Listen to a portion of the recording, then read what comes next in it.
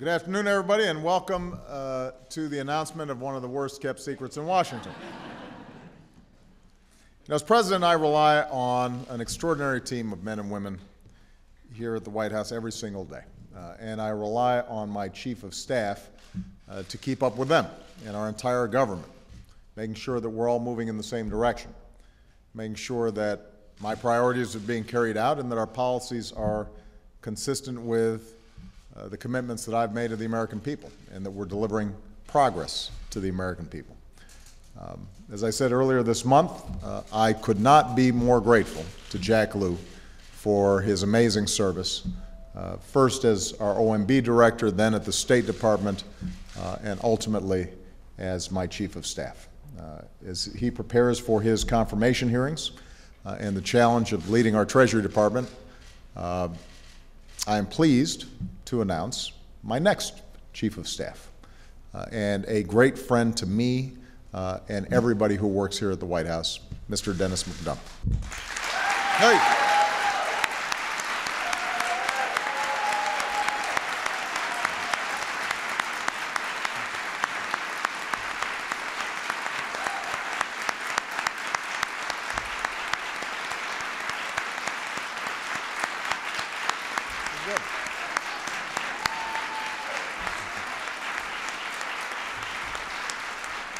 Uh, uh, I have been counting on Denis for nearly a decade, since I first came to Washington, uh, when he helped set up my Senate office, uh, along with Pete Rouse. Uh, you know, he uh, you know, was able to show me where the restrooms were and um, you know, how you passed a bill. Um, I, I, should point out that even then Denis had gray hair. I've been trying to catch up to him. Uh, but at that time, uh, I relied on his intellect and his good judgment, ever, uh, and that has continued ever since. Uh, he's been one of my closest and most trusted advisors uh, on my presidential campaign, on my transition team. He has been an indispensable member of my national security team as well. Denis has played a key role in every major national security decision in my presidency, from ending the war in Iraq to winding down the war in Afghanistan, from our response to natural disasters around the world like Haiti uh, and the tsunami in Japan, to the repeal of Don't Ask, Don't Tell, to countless crises in between, uh, day and night. Uh, and that includes many nights. Uh, I've actually begun to think that Denis likes pulling all-nighters. The, the, truth is, nobody outworks Denis McDonough. Uh, and you know, part of the reason you saw such warmth of applause is that uh, in addition to being an incredible talent and such a hard worker, Denis is also a pretty humble guy. Uh, to so many of his friends and admirers, he's still just the dude from Stillwater, Minnesota. Uh, and given his humility, uh, I don't think people always uh, appreciate the breadth of his experience and, and the range of his talents. Uh, and it's precisely because of that intellect, that experience, his dedication, uh, his determination that I wanted Denis in this job. Uh, as a veteran of Capitol Hill, where he was mentored by the likes of Lee Hamilton and Tom Daschle, uh, Denis understands the importance of reaching across the aisle to deliver results for the American people, whether it's on jobs and the economy, health care, or education, uh, reducing the deficit, or addressing climate change. Uh, Denis is respected by leaders across our government. Uh, add it all up, and I think he's spent most of the past four years leading interagency meetings, uh, hearing people out, listening to them, forging consensus, and then making sure that our policies are implemented uh, and that everybody's held accountable. And he always holds himself accountable first and foremost. Uh, and it's no easy task, but through it all, Denis does it with class uh, and integrity uh, and thoughtfulness for other people's point of views. he's the consummate public servant. He plays it straight, uh, and that's the kind of teamwork uh, that I want in the White House. You know, time and again, uh, I've relied on Denis to help in our outreach to the American people as well, including immigrant and minority communities and faith communities. Uh, Denis is a man of deep faith, and he understands that in the end, our policies and our programs are measured in the concrete differences that they make in the lives uh, of our fellow human beings and in the values that we advance as Americans. Uh, Denis insists on knowing for himself the real world impact of the decisions that we make. So, away from the cameras, without a lot of fanfare, Uh, he's visited our troops in Iraq and Afghanistan repeatedly, hearing their concerns, finding out what they need, and then making sure to follow up.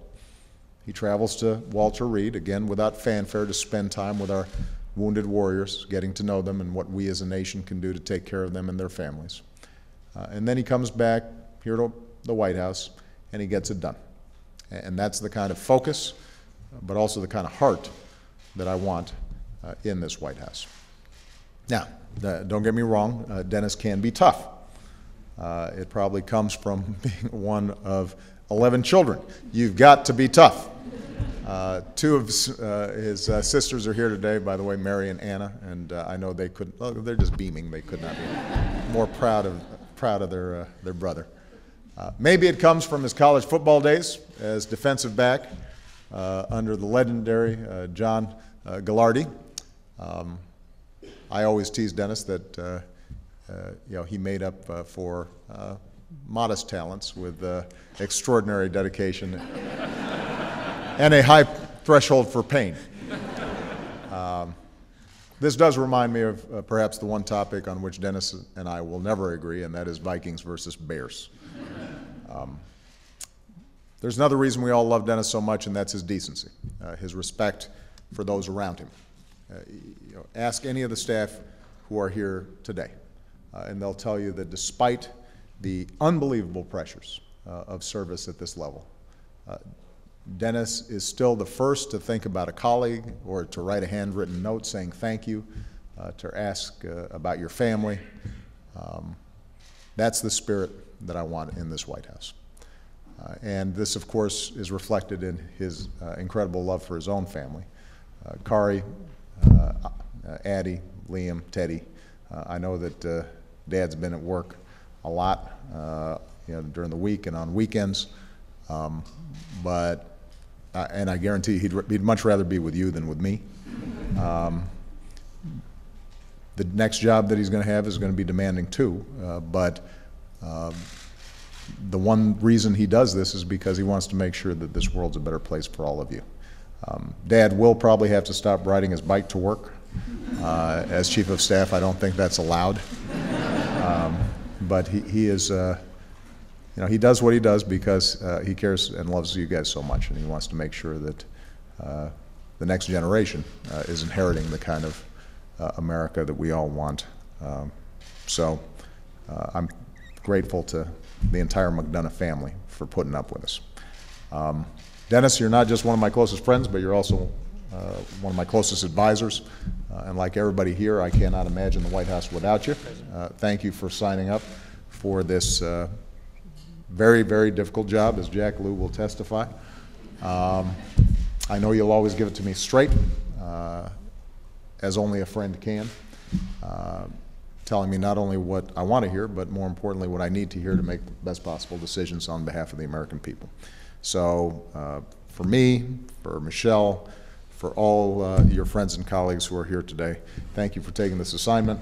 Congratulations.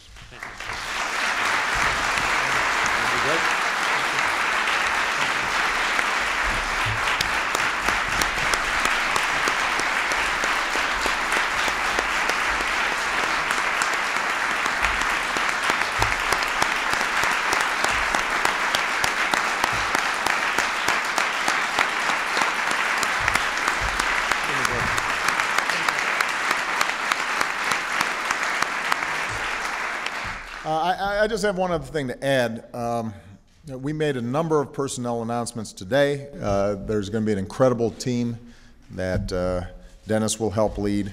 Uh, but I thought I'd take the occasion uh, to just embarrass somebody. Uh, some of you uh, may know that today is David Plouffe's last day in the White House. Um, I had to hide this in the end of my remarks because I knew he wouldn't want me to bring it up. So the, we had some secret squirrel stuff going on here to uh, uh, avoid him thinking that uh, we were going to talk about him. Um, but uh, as many of you know, uh, uh, David has been with me from the very start of this, this enterprise, running for president. I can't tell you how lucky I have been to have him manage our campaign back in 2008 uh, then joined the White House uh, during uh, these very challenging last two years. Uh, he's built uh, a, well-deserved reputation as being a, uh, uh, a numbers genius and uh, uh, you know, pretty uh, tough combatant uh, when it comes to politics. Uh, but what people don't always realize, because he doesn't like to show it, is uh, uh, the reason he does this stuff is because he cares deeply about people, and he cares about justice, and he cares about uh, making sure that everybody gets a shot in life. Um, and uh, those values uh, have motivated him uh, to do incredible things, and it, were it not for him, um, we would not have been as effective a White House, and uh, I probably wouldn't be here. So I thought it was worthwhile for us just to say, uh, even if he doesn't want us to say it, thank you to David Plouffe for his encouragement. Denúncia.